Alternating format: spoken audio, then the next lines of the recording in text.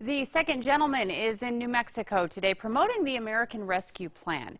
Doug Emhoff, husband of Vice President Kamala Harris, is set to speak at an Albuquerque vaccination site today. The conversation is meant to show Americans how the relief package will directly benefit them. Communicating what is in the care package and making sure that voters here in New Mexico realize how much this revenue is going to help everyday Americans and not just uh, the state government or city governments. Now, Emhoff will also sit in on a session with working women to discuss how to safely reopen schools. Essential workers and teachers have also been invited.